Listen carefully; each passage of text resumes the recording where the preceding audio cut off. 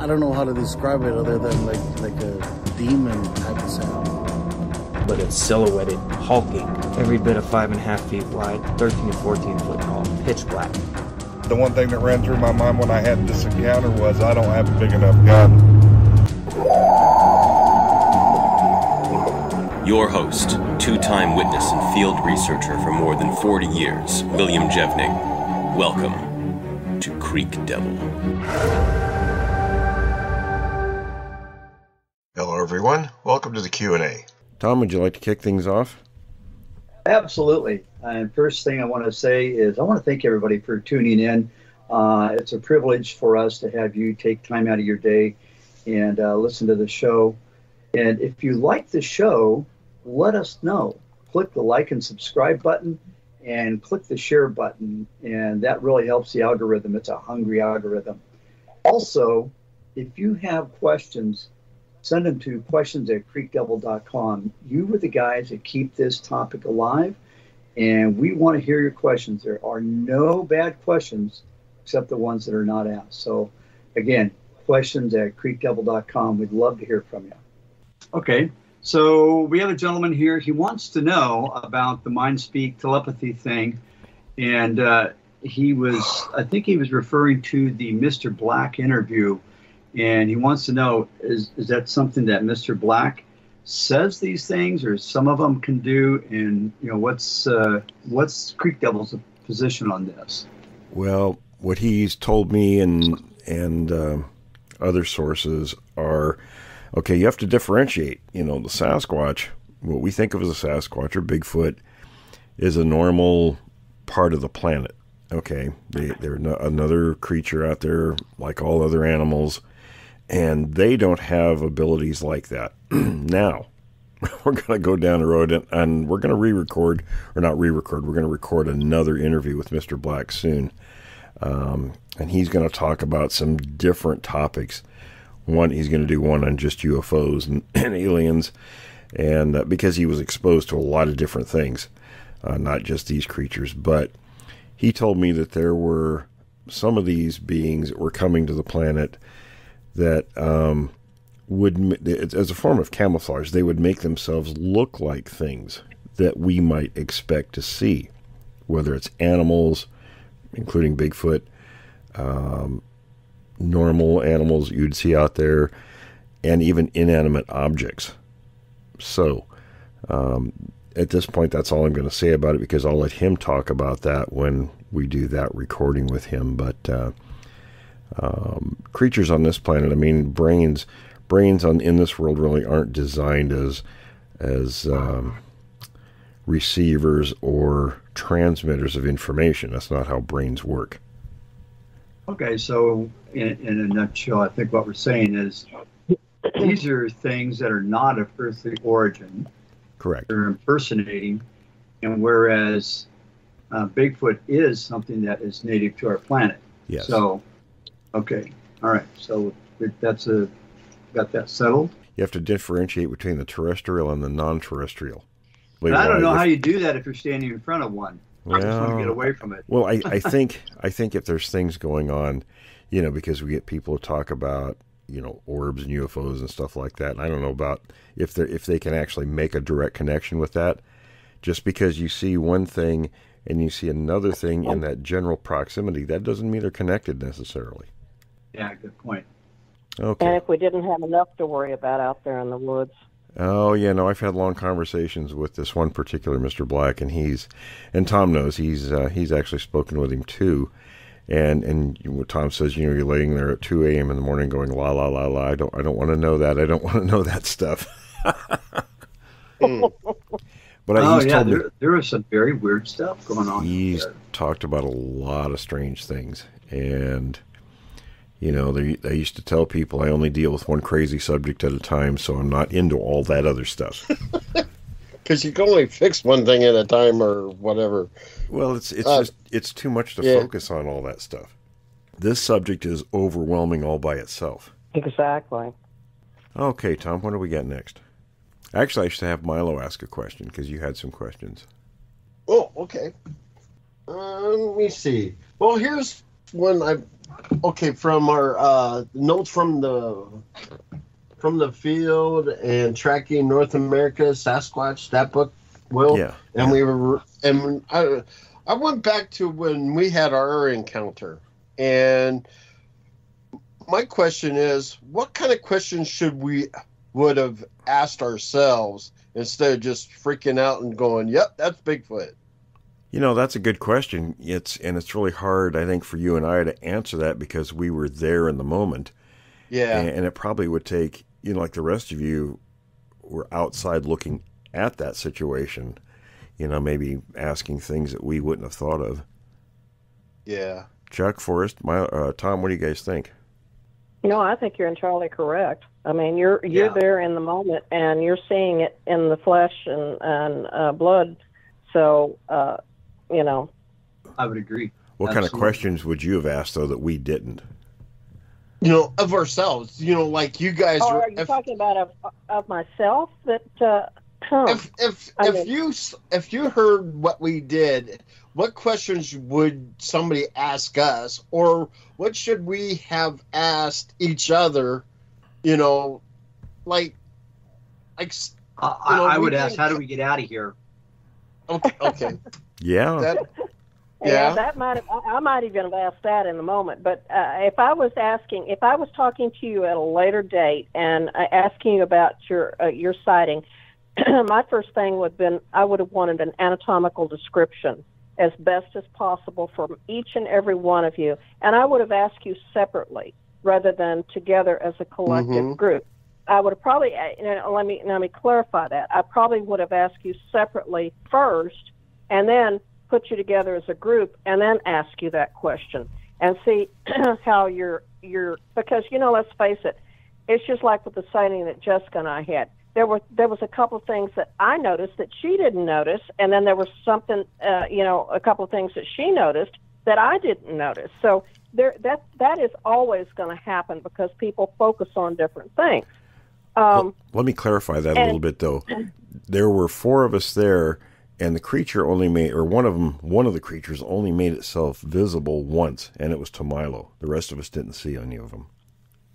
Oh well, I mean, see, I wasn't aware of that that being the the situation, but then then Milo would have been on the hot seat. I'd have been asking him uh, specifically for anatomical an anatomical description Mhm. of what he saw, and then and then I would have gone on to well, what was it doing? What was uh, and and then you know my knowledge would be comparing it to you know what would uh, a an ape, uh, a primate be doing versus what the Bigfoot is doing, and if there's anything that would be, uh, you know, comparative to both of them, and was it doing anything that was human-like?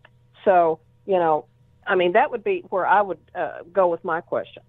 Yeah, there's a lot of things I wish we could, have asked ourselves if we had, you know, because we were just a fledgling little group of high schoolers when we did that. So, you know, uh, I regret not following through with, you know, hey, we should have asked ourselves some investigative questions, and and we didn't do it. high school, so it's. I don't think that you're really.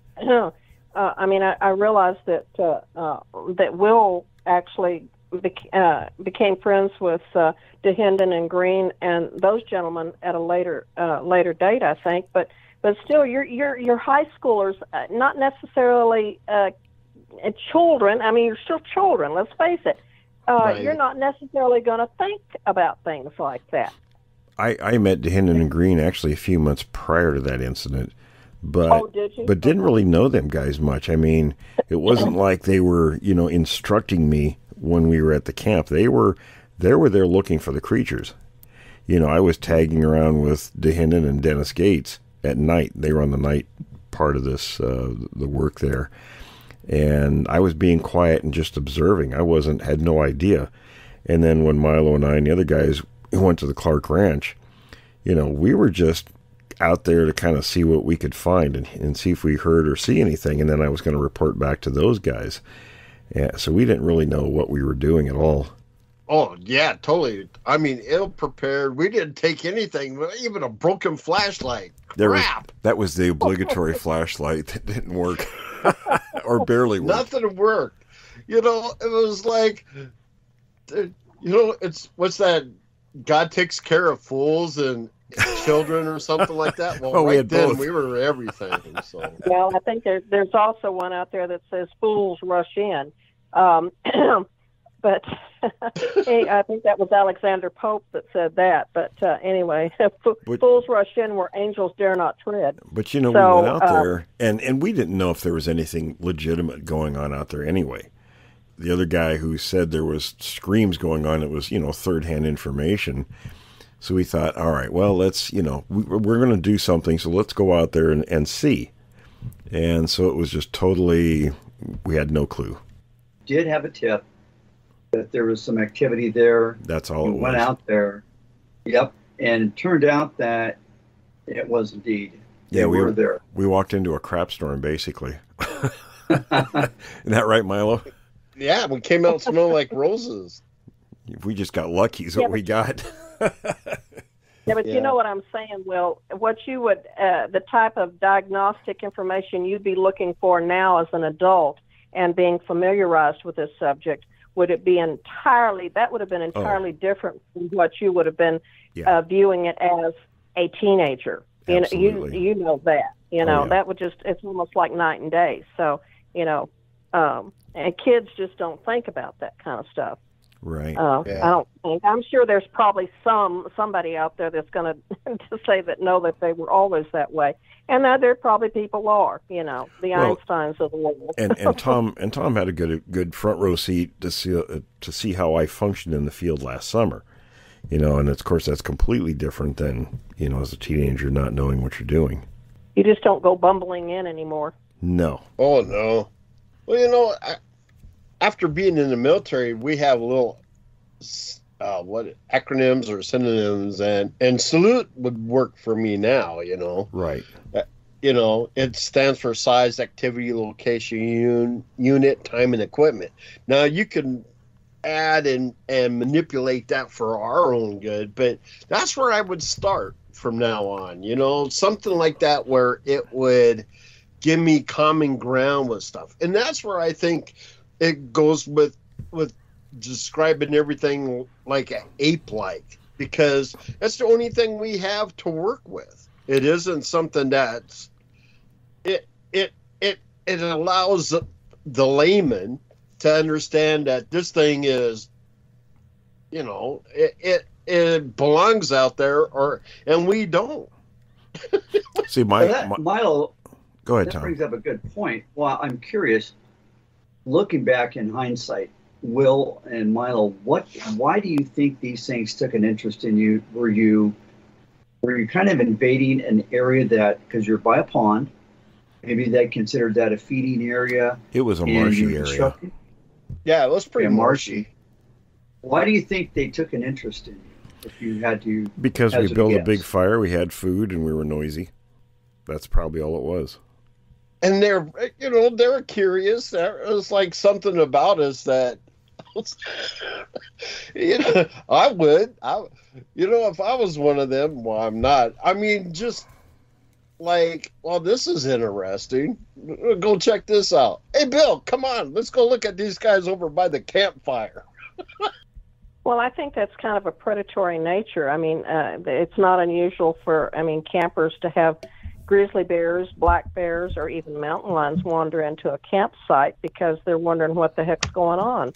Oh, you know, they yeah. smell food, and here they come. And you Yeah. know, uh, Bigfoot, I think, is going to act the same way because I think they are they are an apex predator in the uh, environment, and they're going to let's go see what those humans uh, cooked up tonight. Maybe it might be something we might like. Well, and from what the Add them Clark to the said, menu too if there's not enough. yeah, what the Clark said there was there was a lot of that screaming going, and there had been for some time. So apparently there was a lot of activity there, and you know we kind of stepped into their environment, and uh, you know that's what happened. hmm yeah Curiosity.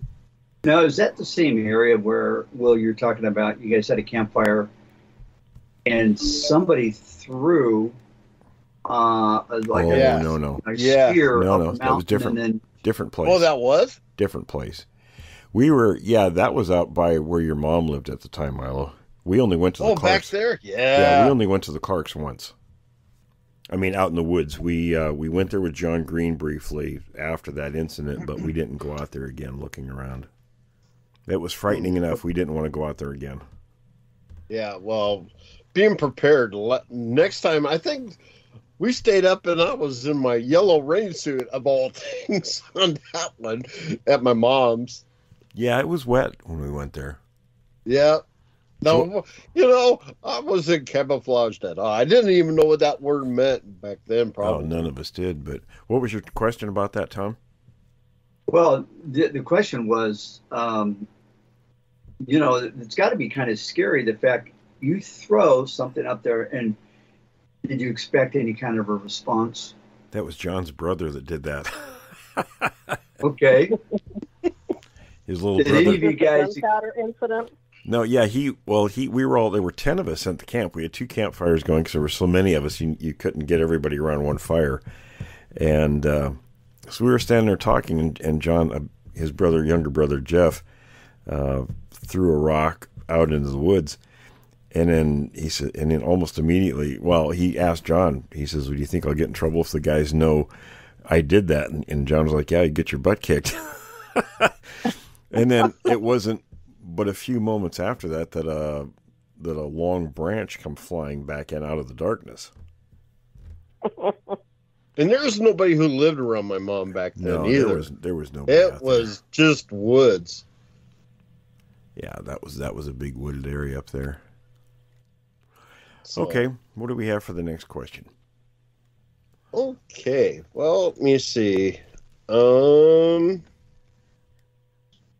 Have, uh, okay, on on page fifty six of your of your new book that I just got, and it's awesome by the way. Let me just put that out there. You have this big twisted tree that's twisted. Like I can't tell how tall the tree is, but it got to be like two feet, three feet in uh, in circumference or in diameter and and to me it was like it wasn't a sapling it wasn't anything it was gigantic and a twisted tree i mean where it looks like you, a towel being wrung Well, that yeah, I'm looking at it right now. That um, the tree was probably um, oh six or eight inches thick, and Okay. yeah, it's it's twisted. You know. Then Milo's talking about my my new book, Bigfoot Survival Guide, and I love was I was sent that a number of pictures by a guy actually up in Carbonado, and uh, Washington, and. Uh, he you know would be out there with his four wheeler and you know on his property doing things out there and he he found these uh, several of these trees and it's just it's incredible i mean the strength it would take to not only turn the tr- bend the tree over but to twist it like that i mean it looks like it looks exactly like when i use the description of uh, taking a, a, a washcloth a wet washcloth and Yeah, wringing the water out that's exactly what it looks like i You know, mean I took to- a picture of. Oh, go ahead, Milo. no i it was like well uh, to, uh, well I, I, to me it was just like there's no way any man or or it was like really good description of what Will said. If it was like a common thing, like disease or there would be more of them. well tom so what that I, really hit, what yeah, I there say would be more, yeah you know, coincidental Yeah. trees Well, that no. look just like that. And and what I say in the field last July, Tom, we were all heading from oh. one Oh. one region to another, and I said, now watch watch for these. Yes, if it, if it's common, is not. you didn't see You'll any. see it everywhere. Nobody saw Right. anything for thirty miles through the forest up there. It was only in certain Not- places. only in certain places. And I was going to say, not far from where we were in July, uh, my wife and I had gone hiking in an area, and I took a picture of a tree. It, it was exactly that. It was twisted. It was rung around. It was probably a good six inches in circumference. And you look at it and you're like, well, what force of nature did that? Was there an extremely localized tornado that just grabbed that one tree and it didn't touch any of the others which is not only unlikely, it's impossible. So all the other trees are fine, but there's this one tree that's totally twisted like a rag. And I remember I sent it to you, and you said, "Yep, that's that's one of them." And that's and that's a current question that I ask myself. You know, we talk about that. You know, what questions would you ask yourself? Um, the first time I saw one of these twisted trees was up here in Northern California, and it was in a stand of probably 20, 15 or 20 of these little uh, pine trees. You know, and they were they were about you know 12, 15 feet high and uh, about three inches thick in the trunk. Not real big yet, but the one in the very middle, seven feet off the ground, was twisted like that tree. Uh, in fact, it was so severely done that you could actually see completely through the trunk of that little tree. Um, wow. But it was it was wrung just like a, a, wet rag, and not any of the other trees. And and they were they were all close together. They were it was a cluster of these little trees. So if there had been any kind of phenomena, weather-wise or or whatever, it would have affected the trees next to it because they were all close together. They were touching. I'm sure once they get big enough, you know, some of the trees will die out because they won't get enough light from the bigger trees. They were that close. Um, so, you know, you have to ask yourself that question. Well, you know, if A, B, and C were to happen, how come you don't get more results from the other trees? Right, exactly. And, you know, somebody might argue, well, that one particular tree was simply um, it it was following the sun. It, well, it was you know the, for whatever reason, you know yeah. maybe it was following the sun as being twisted because because you see that with junipers, but it affects all the junipers. This right. is one tree in a group of them that is twisted and wrung out like a wash rag, and all the others are untouched. And every one of these, when I when I show pictures of them, either in books or wherever, um, they're they're the ones I'm very picky about that. I don't just show anything out there.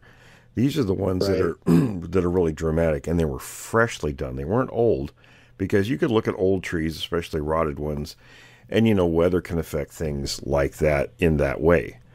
Um, you know because of the rot, they can they can twist, they can do all kinds of things. But these fresh ones, you know, when the weather's been clear and there's nobody around, I mean, and of course, again, you examine the trunk for any kind of tool markings and I have seen this faked once.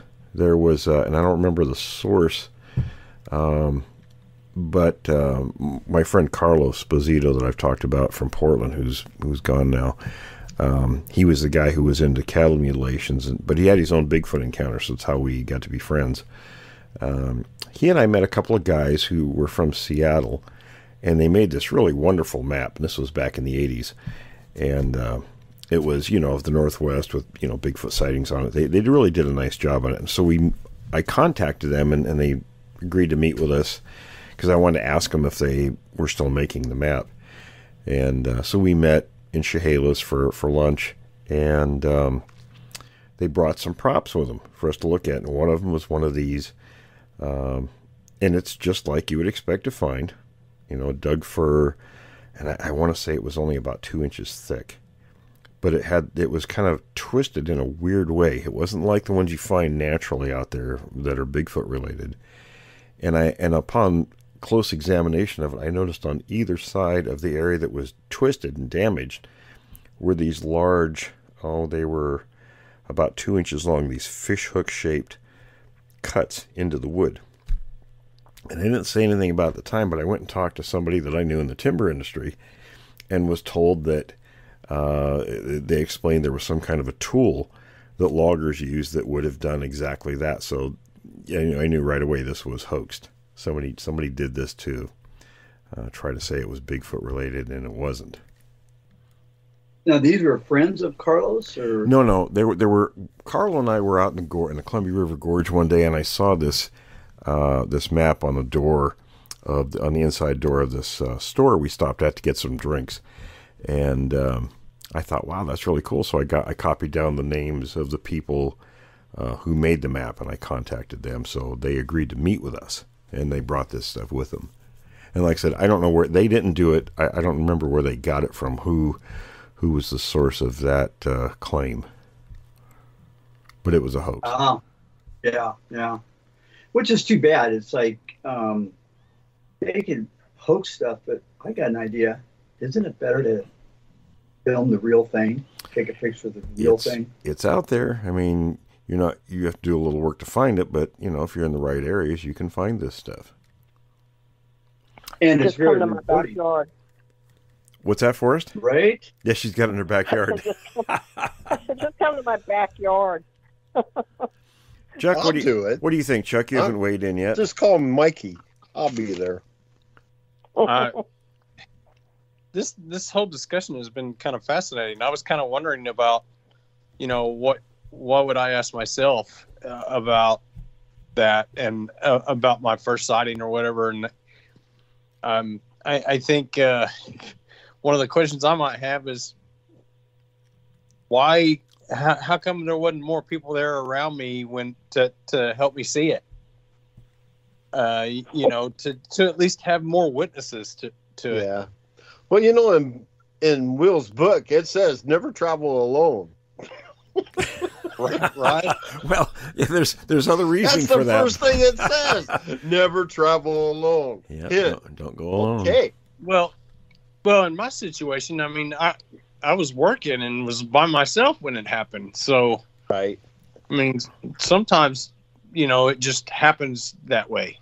You know, here's a thought. Maybe they don't make themselves known or visible to somebody, you know, by stepping out or whatever, um, because they've been watching a place or to see how many people are there, and they only do it when there's either one or a very low number of people. Well, you know, there's always somebody watching. Even when you think you're not and you're looking around to make sure that you're not being watched, somebody always watches. There's something out there that's looking. Well, that seems to be the case, Milo, because these people that vanish, you know, there's a guy here in Oregon, he was with a group of friends, and he just took off up a trail by himself, and that's the last anybody saw of him. And his poster, that was about three years ago, I think. His posters are still all over the place. And Is that near Bend? No, no, that was actually down near Cottage Grove, Cottage Grove, Oregon. Okay.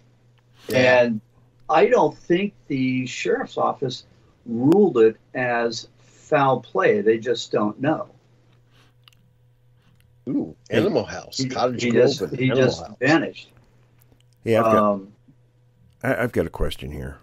And it's changing Ooh. changing topic a little bit, so I'll let every, everybody kind of uh, take turns Take with a this deep one. breath. Would they? Um, okay, for hunting, would Sasquatch smell deer urine? For example, chimps smell leopard urine.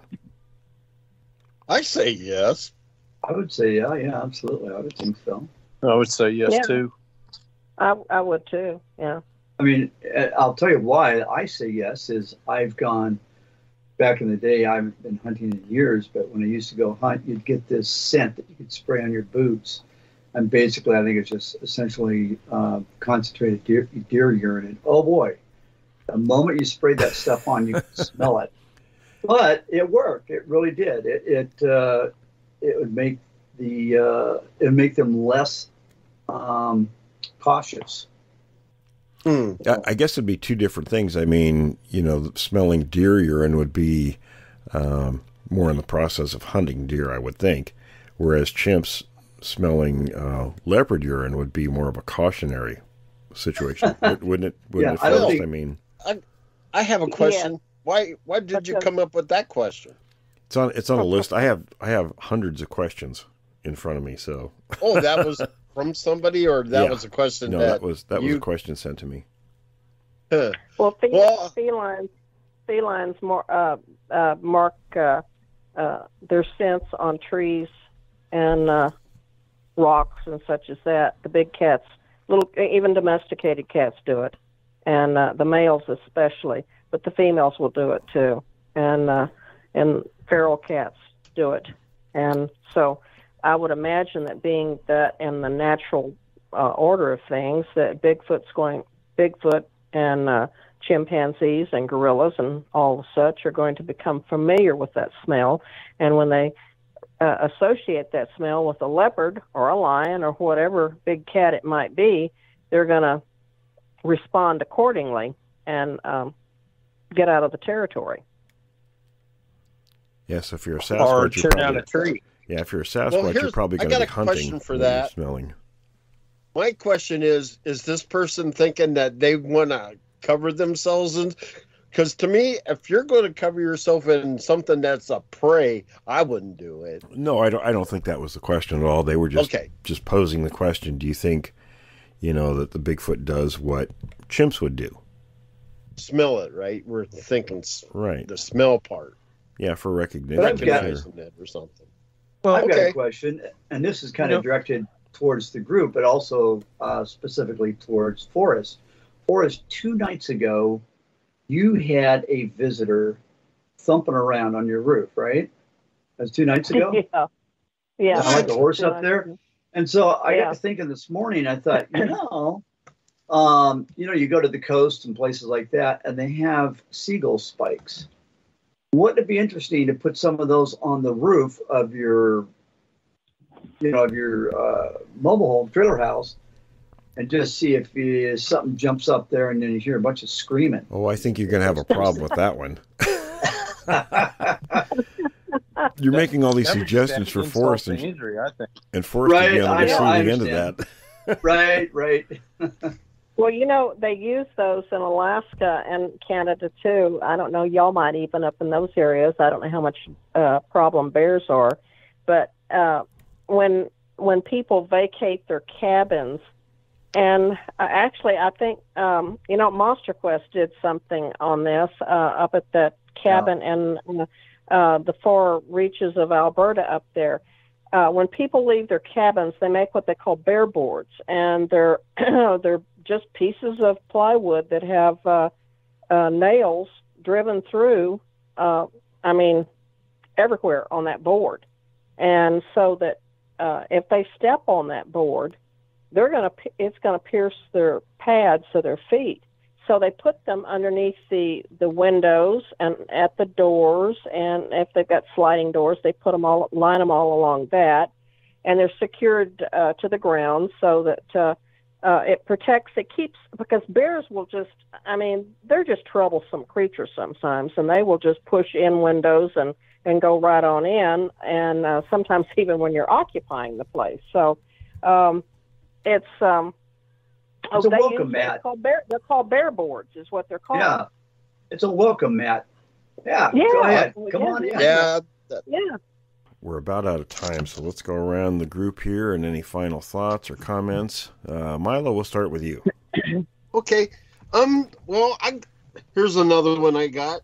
Okay, on the uh, we're talking when I was looking at uh patty pictures, you know, and I was looking at the calves. It looks to me that's a real Bigfoot. Screw everybody else. I think it's real. Yep, good point. Chuck, Because I was, you oh. know, I know Forrest was looking at the butt, but I was looking at the calves like, damn, I wish I had calves like that. Chuck, any final comments or thoughts? Very interesting discussion today. Very interesting. I enjoyed it. Forrest? Well, let me correct you, Milo. I didn't just look at Patty's butt. I've looked her all up and down. It was Yeah. a girl And- too. So what does that and, say? No. you can you can even uh, you know of course she's got uh, uh, um, big breasts and she's also got she's also got a scar over one of her uh, uh, her eyes there and you can actually see that in the film footage and you can see the muscles moving underneath that skin it's not something that you could ever recreate with just a a, a bodysuit. And plus the fact that in what was it 1967 i think was the, the mm-hmm. the time that that film was done there was no one no one capable of making a bodysuit like that. So you know i rest my case. And there's no human there's no human of proportions that would have fit in that bodysuit correctly. So No. Yeah, anyway. And and I'm going to go with go. I'm going to go with Bill Munns on this. It- you're right. Even to this day, there's no human proportions that would fit in that bodysuit. And he, I mean, he dissected all the arguments piece by piece, and it's a Bigfoot, plain and simple. And there's been other videos, and you know, you get the argument that well, there's no other pictures or videos. Well, yes, there are. There are some out there. Tom, did you have any final there's comments or? Well, Yeah, that was it. Did On- you get Oh, it? okay, we got it. All right, guys. Well, listen, On- All right. we're out of time. Thanks for joining us, everyone. Thanks for listening to this episode of Creek Devil. If you or anyone you know has had an encounter with these creatures, please contact us at williamjevning at yahoo.com. That's William, J E V N I N G, at yahoo.com. All communication is confidential. Join us for another program next week. And until then, keep your eyes open